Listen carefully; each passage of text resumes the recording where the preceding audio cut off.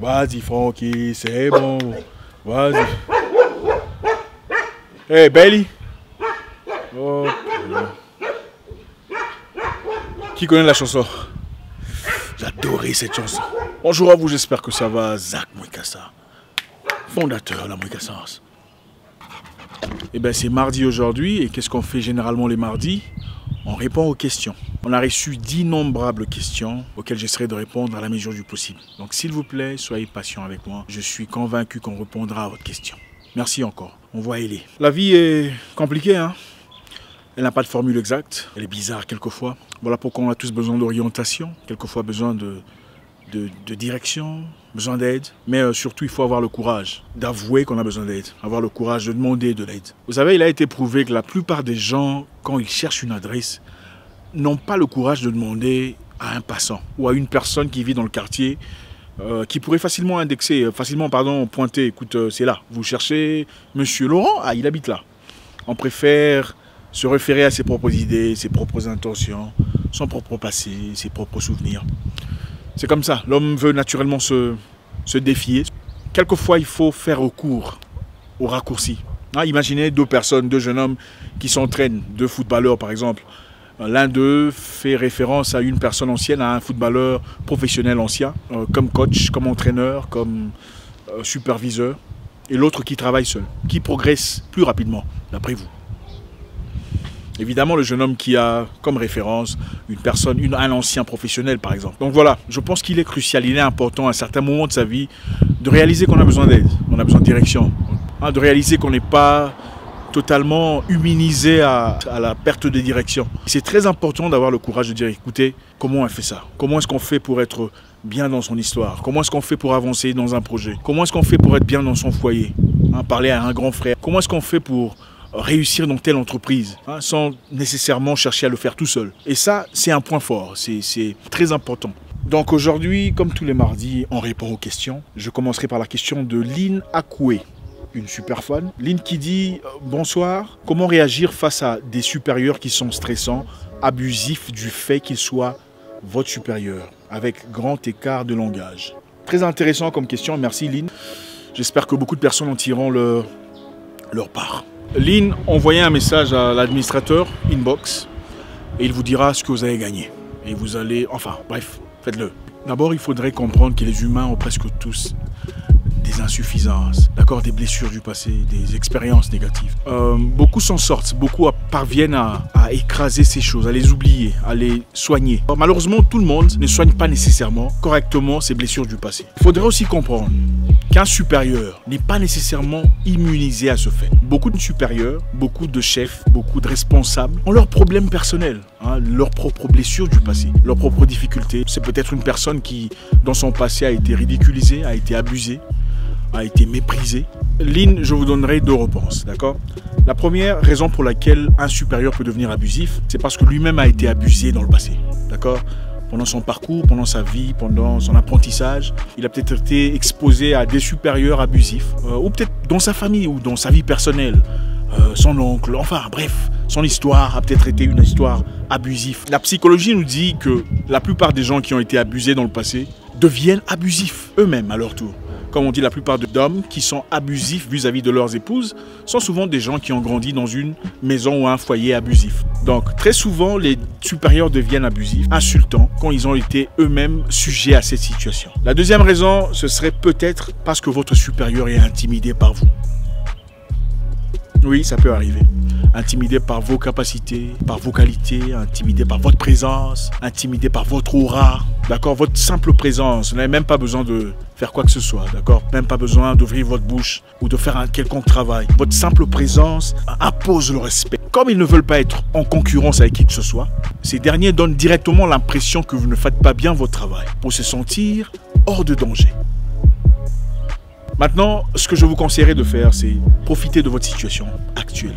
Profiter de votre présence. Accumuler autant de connaissances que possible. Je vous conseille de lire le livre Les 48 lois du pouvoir. Je pense que vous pouvez trouver des versions gratuites sur Internet, hein, en PDF, je crois. La première loi dit ceci, ne surpassez jamais le maître. Donc toute personne supérieure à vous, sur le plan boulot ou euh, travail, devrait toujours se sentir supérieur. Ne faites jamais de l'ombre à un supérieur par votre apparence, par vos expressions, par votre intelligence, par vos idées, par vos capacités. Votre supérieur doit constamment se sentir plus grand que vous, de peur qu'il devienne votre premier détracteur, anéantissant ainsi vos espoirs de progression. Faites-lui des compliments si vous pouvez, surtout dans le milieu francophone. Bonjour chef, bien habillé chef. Et vous vous sentirez de moins en moins en danger, parce qu'il se sentira de moins en moins en danger. La deuxième question est de Esther Adassa Wiyimbo. Wiyombo. Désolé. Bonjour Monsieur Zach Mokassa. Parlons de relations entre aînés et leurs jeunes frères. Pourquoi en Afrique les aînés acceptent difficilement qu'ils ont tort? Très intéressant. Superbe question. Vous savez, le respect est très important. Euh, le respect est magnifique, c'est génial. C'est, hein, ça, ça, préserve la structure pyramidale du, du foyer, de la famille, d'une société, surtout en Afrique. Euh, on accorde beaucoup, beaucoup d'ampleur, beaucoup d'importance au respect. Mais malheureusement, ça a aussi été la raison de beaucoup d'abus dans nos sociétés. Des aînés abusifs, quelquefois, se permettent de faire des choses inacceptables vis-à-vis de leurs euh, plus jeunes frères ou sœurs et se cachent derrière le mur de respect. Je vous ai parlé l'autre fois d'une personne qui a été abusée par son grand frère, par son aîné, après lui avoir envoyé de l'argent euh, depuis l'Europe pour faire des investissements en Afrique. Il a tout bouffé. Il est allé se marier avec l'argent de, de son petit frère. Et ensuite a dit écoute si tu penses que voilà tu vas me parler n'importe comment je te rappelle que je suis ton grand frère hein. donc euh, tu vas te maîtriser tu vas pas me parler comme ça. Le respect est important le respect est génial le respect est merveilleux. Mais le respect a aussi été la raison de beaucoup d'abus beaucoup de manque de respect. Un manque de respect venant d'un aîné n'est pas considéré comme manque de respect n'est-ce pas? Mais quand ça vient d'un plus jeune, là, c'est considéré comme un sacrilège. Donc, la raison principale pour laquelle les aînés ont du mal à reconnaître leur tort. C'est parce que pour eux, pour beaucoup d'entre eux en tout cas, ils ont l'impression de perdre cette force, perdre ce terrain de respect, perdre ce terrain de considération. C'est-à-dire, si je reconnais une fois avoir eu tort, prochainement on me dira, d'ailleurs, la fois dernière, tu avais encore tort. Donc c'est une façon de préserver sa position de force contre le futur, contre des éventualités improbables. Donc la plupart des aînés en Afrique ne reconnaissent pas leur tort parce qu'ils se disent si je reconnais, elle aura la grosse tête. Si je m'excuse, il va se prendre pour le nombril du monde. Si je l'accepte aujourd'hui, prochainement, on me le rappellera. Donc pour éviter des éventualités improbables, des choses qu'on ne peut prévoir, ils préfèrent garder de force leur position, même quand ils n'ont pas raison du tout. Voilà. Maintenant, si jamais vous vous retrouvez encore dans une telle situation, je vous conseillerais premièrement de ne pas beaucoup parler. Ok? On ne parle pas beaucoup quand on a raison. Sinon, on perd sa raison. C'est comme ça en Afrique. Ensuite, on dit, avec tout le respect que je vous dois, que votre conscience vous parle. Si c'est un grand, euh, ses paroles lui parleront. Sinon, il reviendra vers vous peut-être plus tard, couvert de honte, faisant semblant, faisant allusion à d'autres choses complètement sans importance, mais vous montrant indirectement qu'il reconnaît. Il ne s'agit pas ici d'essayer de noyer son grand frère. Maintenant, il faut savoir une chose. Quand un grand a tort, ne venez pas non plus marteler votre raison, disons voilà, tu as tort, hein, au point de, de l'écraser. Il faut justement essayer, essayer d'avoir raison sans nécessairement écraser les aînés. La troisième question est de Lucie Luciana qui dit Comment avoir le courage de prendre des décisions difficiles dans la vie et d'en assumer les conséquences? D'abord, il faut comprendre, très cher, que la vie est un combat une lutte au corps à corps où tous les coups sont permis selon vos valeurs. Vous n'avez qu'une seule vie, une seule chance, une seule opportunité. Peu importe ce que vous choisissez de vivre aujourd'hui, vous en serez entièrement responsable. Non, autant prendre les décisions qu'il faut. Les décisions qui vous font chaud au cœur. Les décisions de votre vie. Les décisions personnelles. Vivez votre vie. Ne vivez pas votre vie à l'aune de l'image d'une tierce personne.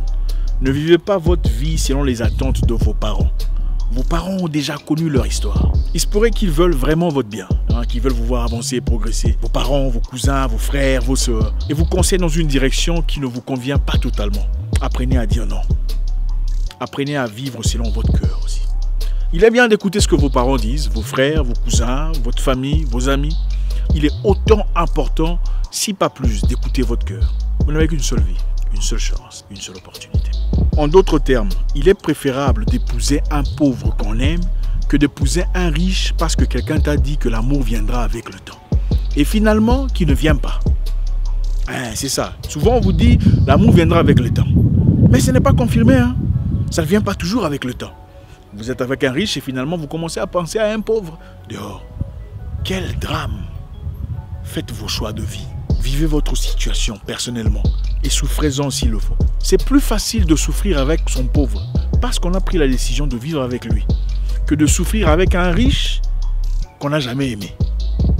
Ah, demandez à ceux qui vivent ces choses-là. Ne cherchez pas à devenir ingénieur ou hôtesse ou marin ou peu importe pilote parce que la famille veut que vous soyez cette personne. Vous êtes peut-être artiste ou vendeuse ou euh, commerçant et ça coule dans vos veines, vous le savez. Ne laissez pas mourir cette sémence, hein, cette sémence qui a été placée en vous par le Créateur, cette sémence unique qui pourrait vous emmener au-delà de votre imagination. Soyez fort. Il est donc plus facile d'assumer les conséquences de ses choix personnels que d'assumer les conséquences des choix faits pour nous par les autres. Voilà, une question de Carole Guégang. Carole, depuis le Cameroun, j'aimerais qu'on parle de comment trouver des sous pour financer un projet. Hmm, ça dépend de quel genre de projet, combien de sous vous cherchez. Euh, on a déjà fait une vidéo là-dessus, mais on fera peut-être une vidéo prochainement si vous voulez, on verra. J'aimerais aussi savoir si c'est possible pour une femme célibataire proche de la trentaine de s'en sortir dans la vie sans l'aide d'un homme ou de la famille. Très intéressant. Bien sûr que c'est possible. D'ailleurs, ma mère a commencé à 18 ans. Elle était déjà entrepreneur. Elle travaillait, elle luttait, elle bossait. Enfin, je ne parlerai pas de ma mère. Beaucoup de femmes euh, jeunes, en tout cas, 20 ans, 22, 23, bossent très dur. Elles sont entreprenantes, elles sont courageuses, batailleuses, lutteuses. Vous pouvez vous en sortir sans l'aide de la famille. Vous pouvez vous en sortir sans l'aide d'un homme. C'est une question d'organisation. Généralement, vous savez, les femmes jeunes touchent un peu plus d'argent que les hommes du même tranche d'âge. Le problème, c'est les dépenses.